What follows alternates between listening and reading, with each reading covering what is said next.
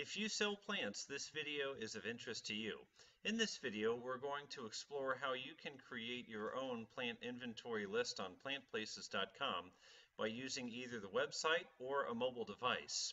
You'll get the list, which is searchable. I can type in American, and it will, it will show only plants with the name American.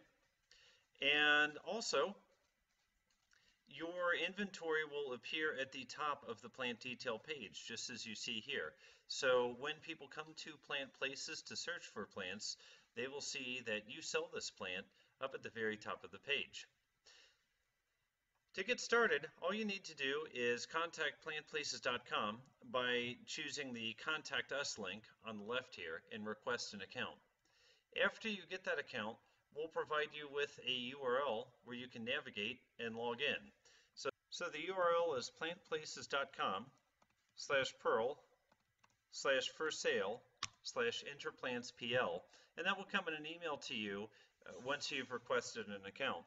I've set up, set up a demo account here for plant places and what you'll see is that you'll come to this screen and in this screen you can enter uh, you can enter any part of a plant name, like I'll say Father Fothergilla.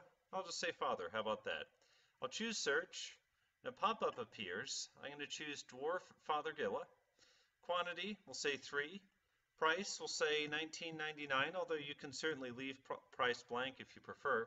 And then we'll say uh, 3 gallon. You can choose gallon, or you can go by height, or multi-pack, or seed. And then put some notes like an excellent three season plant, or maybe you can say arriving in May, something like that, and then simply choose Save this specimen.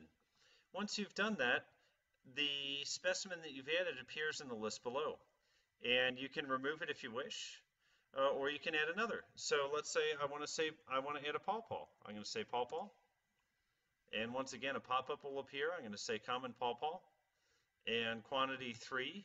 Uh, price, we might say $39.99. Uh, size, we'll say 1 gallon, uh, or we could say bare root or something like that. So we'll say uh, ready for spring planting in April. And then again, we choose save. As soon as we choose save, this page refreshes, and you see again, uh, we have Fothergilla gardenii uh, and our Asimina triloba common pawpaw. We do this over and over again as we add more plants. Now, what we'll get out of this is a plant inventory. I'll go to plantplaces.com and then I'm going to say Perl and then inventory.pl question mark partner equals plant. And I will send you this URL when you request an account. Don't worry about all the letters and all the symbols and everything. You'll get your own personal URL when you get an account. What you'll see here is it says plantplaces.com garden center and then has an address and then inventory. And here it has the common pawpaw, the scientific name, the genus and species, the quantity, price, the vendor, the size, and then the notes. And then it also has pictures, thumbnails of the pawpaw. And then underneath that, the dwarf Fothergilla with pictures, and again, the details of the Fothergilla. If I click on Common Pawpaw, we're going to see the detail page for this pawpaw. This is the same detail page that somebody coming to the website would see. Uh, so we see three pawpaws at this price, and again, the information for our fictional plantplaces.com uh, garden center. So if I go to Plant Places Home and I search on pawpaw, I'm going to come to that very same detail page and it's going to have my inventory uh, at the top again. It's that easy to do. You see it only happened in a few minutes. Now, this is assuming that you are at a computer where you can enter this information. But what if you're out in the field? What if you're in the greenhouse or you're in the retail center and a computer's not nearby? Well, if you have an Android phone or tablet, you're in luck. Uh, simply load the free plantplaces.com app, uh, click the buttons at the top and choose Settings. In settings then, uh, enter your name and username, enter the name that was assigned to you. And for this one, we're going to say plant. And then choose OK. You only need to do that one time. And then back. And now that's saved. Now what I'm going to do is I'm going to click on the ellipsis again. I'm going to say add plants for sale. And this is going to bring up the plantplaces.com mobile plants for sale page. Now this is running on an emulator on my computer. The actual, uh, the actual unit will run much faster on an actual phone. I choose select a plant. And this will take me to the search screen. Okay, I might say something like magnolia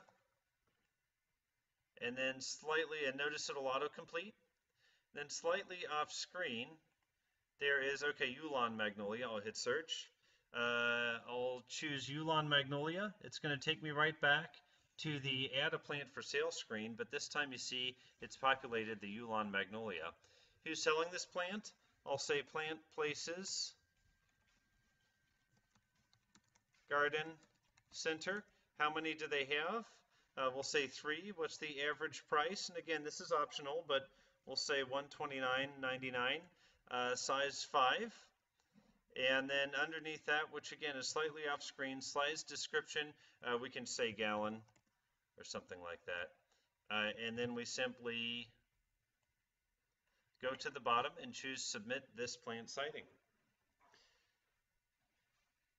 And this mobile app can be with us wherever we are, in the greenhouse or in the field. Uh, we just quickly type it in, hit submit, and there we go.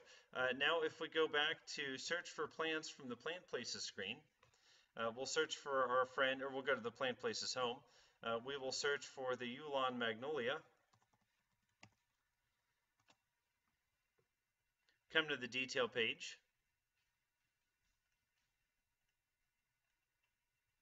And sure enough, at the top you see Plant Places Garden Center, Center is the vendor, uh, is selling this plant. It has the date that we identified it, which is March 10th today, uh, the price and the quantity. We'll go back to our plant inventory page that the public can see. So that would be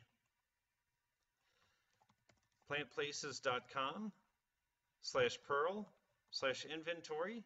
Uh, and partner is plant in this case. And again, you'll get your own URL. And let's take a look. Let's see what we have on this page.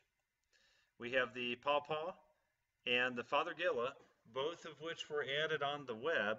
Additionally, we have the Yulan Magnolia, which was entered with the Android device. So whether you prefer a website or whether you prefer to have a device with you out in the field, either way, they will be added to your plant inventory page and you'll get your own page you can use on your own website and you also will see your inventory on the detail page when people are looking at the details of this plant. And the best news is uh, this is all free. All you need to do is request access, and if you wish to use the Android app, uh, download the free Android app. It's all free. So uh, I look forward to your requests and also look forward to seeing your inventory on plantplaces.com. Thank you.